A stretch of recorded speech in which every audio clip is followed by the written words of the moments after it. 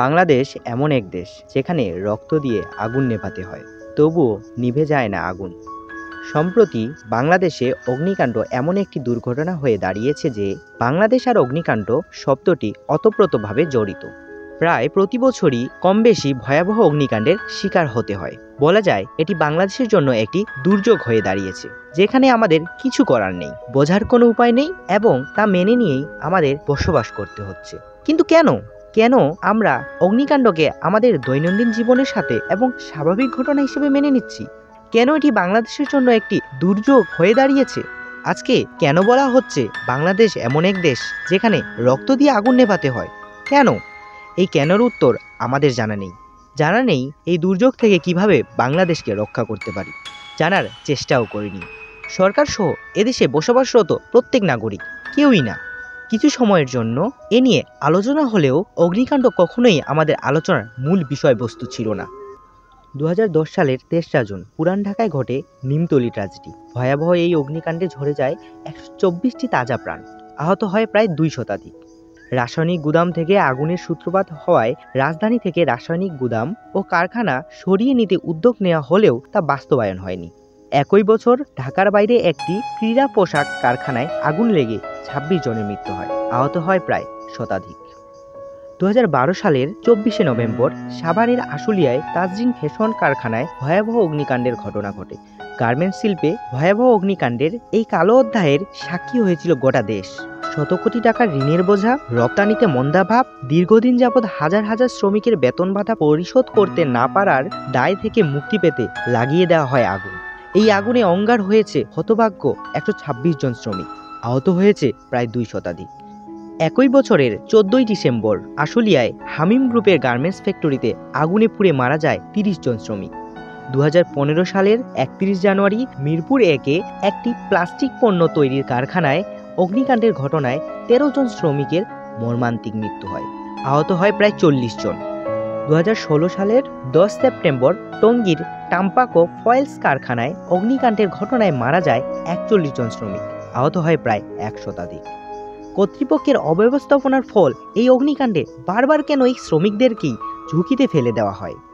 যেই শ্রমিকদের পরিশ্রমের ফলে কর্তৃপক্ষের নিরাপত্তা নিশ্চিত হয়, সেই শ্রমিকদের নিরাপত্তা নিয়ে তাদের বিন্দুমাত্র মাথা ব্যথা হয় না।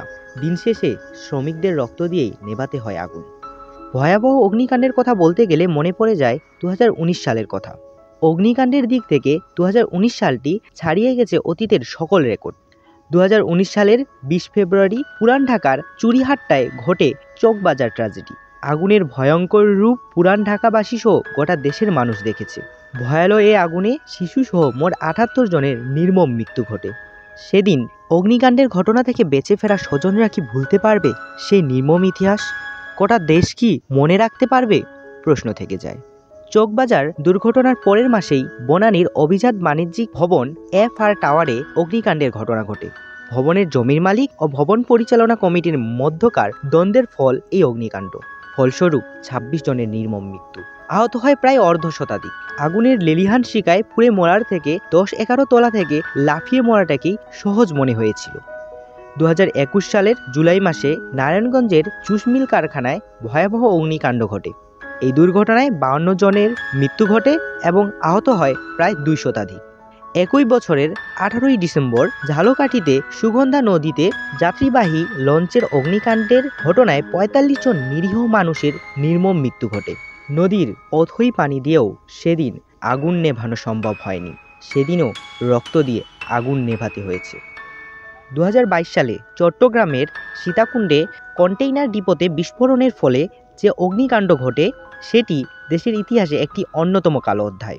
ঊনপঞ্চাশ জন নিহত হওয়ার পাশাপাশি প্রায় পাঁচ শতাধিক মানুষ আহত হয়, যেখানে নিহতদের মধ্যে নয়জন ফায়ার ফাইটার সদস্যও ছিলেন। দুর্ঘটনায় বেঁচে ফেরা ফায়ার ফাইটার সদস্যরা কি ভুলতে পারবে? সহকর্মীদের এই নির্মম মৃত্যু? অনাগত শিশুটিকেও বা কীভাবে বোঝাবেন? এদেশে রক্ত ছাড়া আগুন নেভানো যায় না। দু হাজার দশ থেকে ২২ সাল পর্যন্ত সারা দেশে অগ্নিকাণ্ডের পরিসংখ্যান বিশ্লেষণ করলে দেখা যায় গত এক যুগে মোট অগ্নিকাণ্ডের ঘটনা ঘটেছে এক লাখ বিরানব্বই হাজার চারশো আটাত্তরটি। মৃত্যু দু হাজার আটশো বিরানব্বই জন আহত বাহাত্তর হাজার পাঁচশো আশি জন।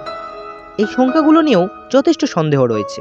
শুধু কি তাই? গত এক যুগে অগ্নিকাণ্ড দুর্ঘটনায় প্রায় চার হাজার পাঁচশো কোটি টাকার সম্পত্তি ক্ষতি হয়েছে। সম্পত্তির ক্ষতি যাই হোক না কেন, তা মানুষের জীবনের মূল্যের থেকে অন্তত বেশি না।